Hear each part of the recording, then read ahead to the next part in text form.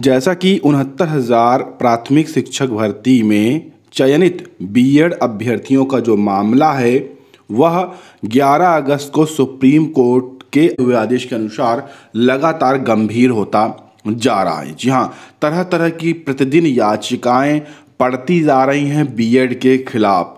अभी एक क्लियरिफिकेशन की याचिका पड़ी थी, उससे निपटने की बीएड चयनित जो उनहत्तर हज़ार के हैं, वो तैयारी कर रहे थे।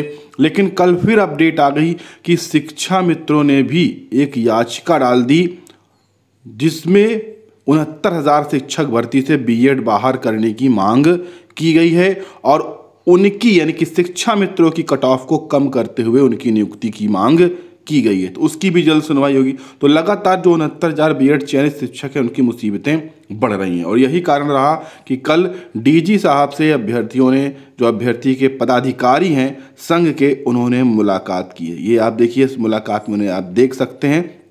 जहाँ पर देखिए, उन्होंने मांग रखी है कि उनहत्तर हज़ार शिक्षक भर्ती में जो नियुक्त बीएड योग्यताधारी शिक्षक हैं, उनको ब्रिज कोर्स कराया जाए तत्काल। ये यहाँ पर मांग रखी गई है। जिसको लेकर डीजी साहब की तरफ़ से ये स्पष्ट किया गया है कि उन्होंने शासन को पत्र लिख दिया है। जो दिशा निर्देश आएँगे, उसके आधार पर कार्य होगा। केवल इतना आश्वासन डीजी साहब की तरफ़ से इन पदाधिकारियों को देखने को मिला है। तो कुछ खास आश्वासन नहीं मिला है, लेकिन इतना है। तो देखिए, कब तक यहाँ पर ब्रिज कोर्स होता है, पहले तो ब्रिज कोर्स एक मुसीबत है।